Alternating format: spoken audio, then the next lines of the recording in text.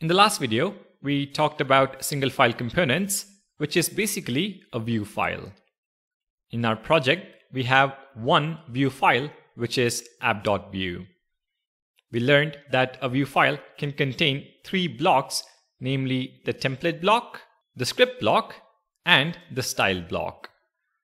I also mentioned that the script block contains the data and the logic for the template block, which ultimately is responsible for the UI.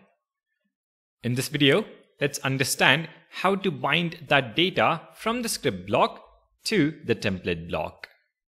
More specifically, let's start with binding text from the script to the template.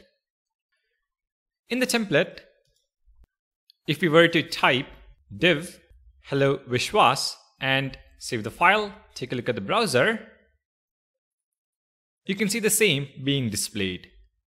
However, this is static text which can never change. In web applications though, the UI is usually data driven. Content you see in the browser can be dynamic and needs to change based on the application state. So we need to maintain the data in the script block and then bind the data to the HTML. In our example, we need to bind this name property from the data object to the HTML defined above. To do that, we use what is called the mustache syntax in Vue. It is a pair of curly braces, and within the curly braces, you specify the property in the data object. In our case, it is the name property. So instead of the text Vishwas, specify double curly braces and then name. Name here corresponds to this data property. If we now save the file and head back to the browser, our output is still the same. Change name to Batman, and we see the text Hello Batman. Now this method of binding text using the mustache syntax is called as text interpolation.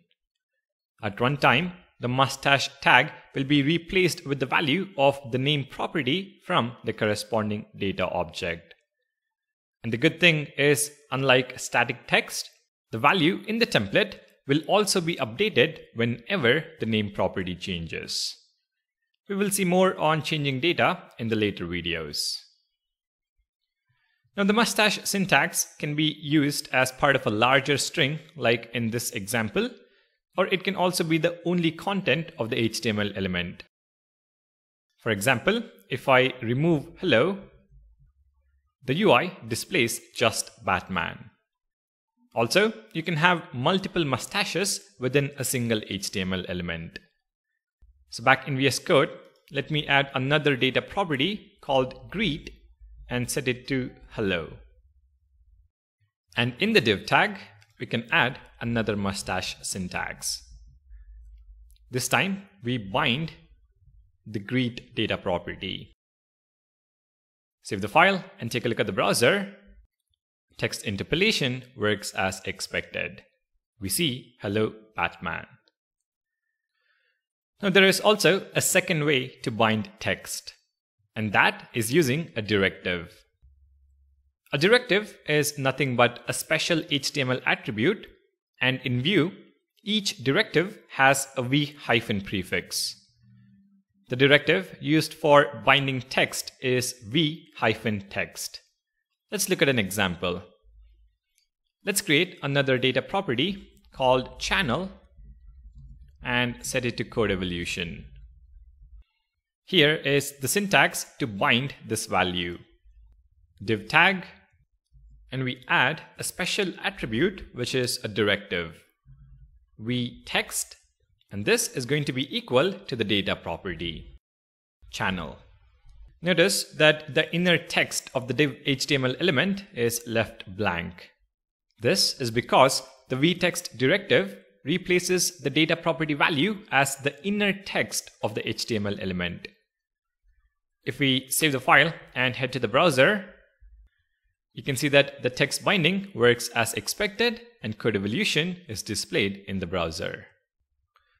Now the only drawback of the vtext directive is that it replaces the entire text content of the HTML element with the data property value.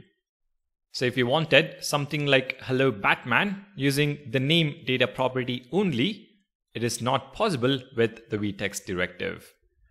Let me show you an example. If I add a div tag where the inner text says hello, and we use vtext directive to bind name, save and head to the browser, our linter in fact throws an error. It mentions that vtext will override element children. So if you have partial static text and you want to add some dynamic binding, mustache syntax is the way to go. So to summarize, in Vue, there are two ways to bind text. We have the mustache syntax and also the vtext directive. You can use the mustache syntax to bind partial or full text content in an HTML element, whereas vtext can only be used to bind full text content. If you want to dynamically update a property value, the recommended way is to use the mustache syntax as it evaluates slightly faster compared to the vtext directive. And to be honest, vtext is one of those directives that is very rarely used. However, when learning, we should learn them all, and that was my intention for this video on binding text in Vue. In the next video, let's take a look at another directive which definitely is a lot more useful.